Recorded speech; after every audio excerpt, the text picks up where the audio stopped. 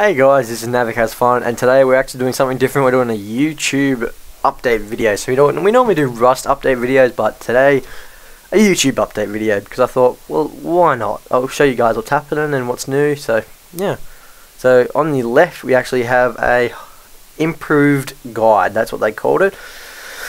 and it's pretty self-explanatory. It's got the playlists and the subscription, and and and, and you can get rid of it.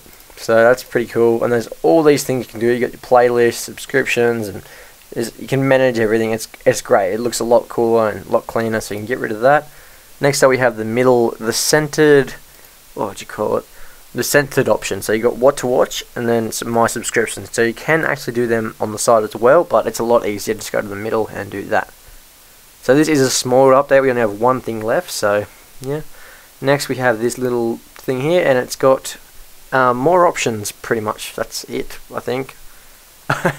That's pretty much it. They got dashboard. We all know what that is. Or we should all know what that is. If you don't, there's a lot of videos for it. Video manager, and that that's just to check your like YouTube stats and all that shit and YouTube settings. We can find that, I believe, there. So yeah.